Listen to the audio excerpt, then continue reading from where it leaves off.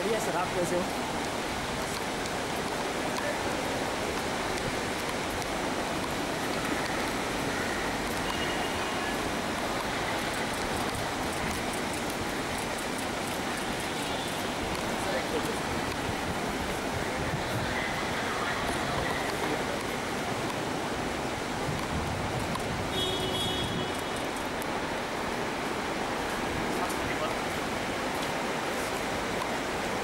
Bisa, bisa, bisa.